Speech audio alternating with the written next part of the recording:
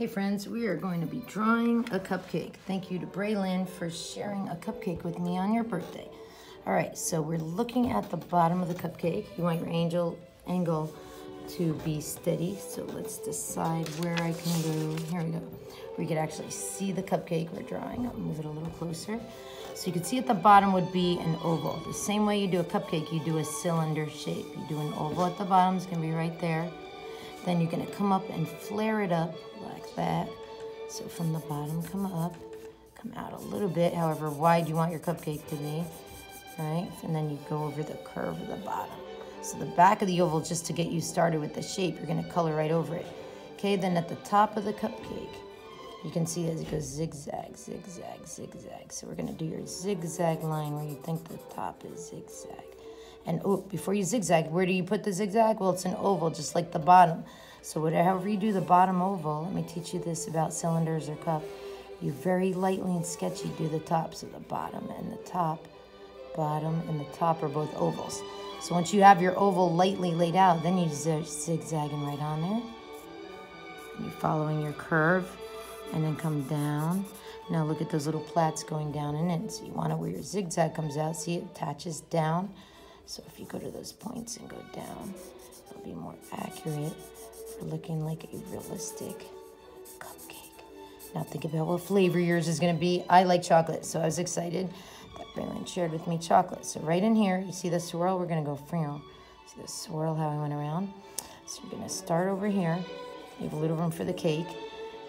If you want to show your flavor cake, and we're going to swirl around, around, just like you would as a cupcake artist squeezing out the frosting. Now, if you like a lot of frosting, they really blobbed it on that you want it to go over the edge. You come to the side, see how they blobbed it around? Now, think about what color cake you want, what color frosting. And do you see how there's a little shading? There's a little darker and lighter. We're gonna add, a, if I could teach you to add a little shadow and shading in your frosting, it'll look a little more dimensional. Now, my husband Tiger loves frosting so much that he would sometimes eat the frosting from the bowl, and I wouldn't have enough for the cake. Eh. All right, so now there's always a light source and then a shadow. If the light was on this side, the shadow would come out that side. So let's do your shadow, which will give it more um, 3D element. And you start darker to lighter with your shadow. And then your darker side will be this side. So let's go up and down. Since your lines, your pleats in the cupcake line are up and down. All right, so just follow along, draw with me, letting up on the pencil lighter to darker. Next, I'm gonna get my colors. Color pencils. All right, so I'm gonna use the brown for my favorite color cupcake. So you're gonna think about, hmm, what's my favorite flavor cupcake? Well, now you know Mrs. Smith likes chocolate and you can do whatever flavor is your flavor because there's a little bit of the cake showing. And that's kind of the fun is to show your favorite flavor cake. Do you like confetti flavored cake? Are you gonna make your cake pink? See how the brown down there shows what flavor it is? So that way if you're at the store you're like oh right away that's chocolate. Now you know mrs smith likes chocolate. You're gonna make your strawberry pink carrot cake orange. Think about that and do a layer of the color of the inside of the cake. Next to do the top Hmm. We learned Roy G. Biv, red, orange, yellow. Oh, make sure they're right in order. Green, blue, indigo, and violet are the colors of the rainbow. And decide if your cake is on something. It shouldn't just be floating. I try to do a table. I'm going to do like a purple tablecloth if I have time. And on this one, I'm going to show you what I did here. I did some Van Gogh swirls in the background to show wallpaper when Van Gogh did the sunflowers, he has some designs like that on the wallpaper behind him. Right, back to the cupcake.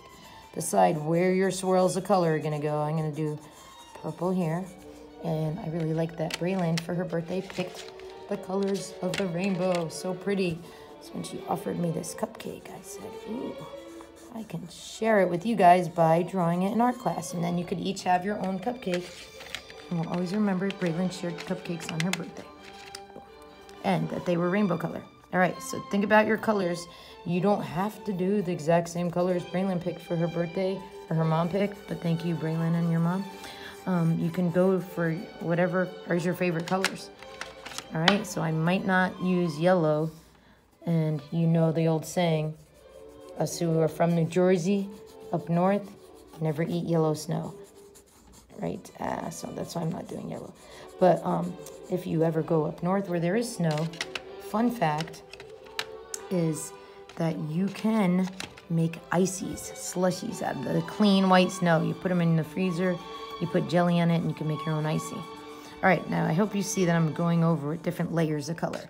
Now to end this lesson, oh, I just got icing on. So sorry. I'm gonna actually go 3D by adding icing. Look at, um, I'm gonna add a little shading. Say over and out from this lesson with five minutes and 31 seconds. And I'm not gonna lick my pencil. I'm gonna wash it off and be responsible. All right, over and out from the cupcake.